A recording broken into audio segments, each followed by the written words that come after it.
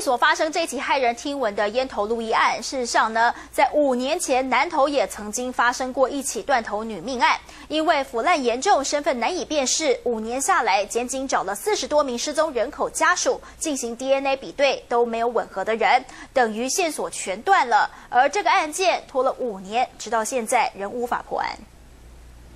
今年震惊社会的南投草屯水流女头案，高悬了五年还是没法破案。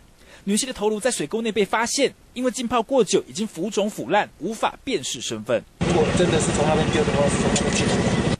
为了找寻全尸，检警出动专业的搜救犬，沿着气势大牌进行地毯式的搜索，只发现了一条长裤和一件女用内衣。头永远是滚最远的，不一定，你要看它的大小，比如说跟大腿骨啊，哈，代表它头是最容易。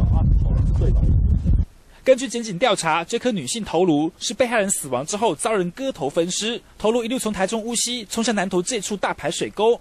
从耳洞还有牙齿的特征来辨别，研判死者是十七岁到二十五岁的女性。水沟啊，我们要找一下疑似疑似那个看有没有其他的其他的那个基证嘛。五年多以来，检警还找了四十多名失踪人口的家属，进行了近百次的 DNA 比对，却没有任何的吻合者。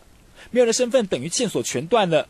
但专案小组仍不放弃希望，只期望出现新市镇，可以查个水落石出。中新闻龚玉德、朱显明台中报道。